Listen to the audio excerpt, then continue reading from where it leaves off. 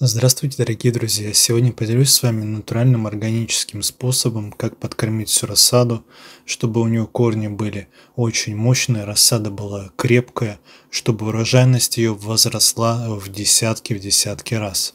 Способ натуральный, многим известный, но еще большему количеству людей данный способ пока неизвестен. Поэтому сегодня на общую широкую массу расскажу многим, кто не знает, кто еще не подкармливает, у кого рассада бывает хиленькая и бывает неурожайная. Сегодня подскажу способ, единственный рабочий, который действительно помогает получить крепкую, толстенькую урожайную рассаду огурцов, томатов, перца, да хоть даже цветы я также подкармливаю.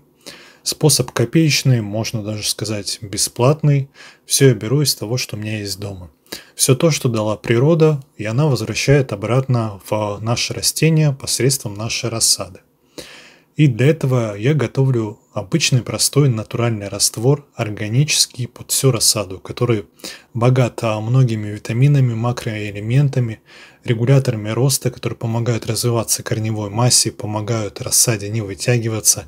Также заранее в рассаде закладывает большую-большую урожайность, будь то томаты, огурцы и перец.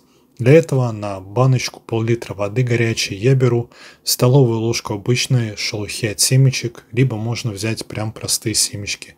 Заливаю кипятком, даю постоять, что постыло, потом настаиваю несколько часов и подливаю под всю рассаду вместо обычной воды.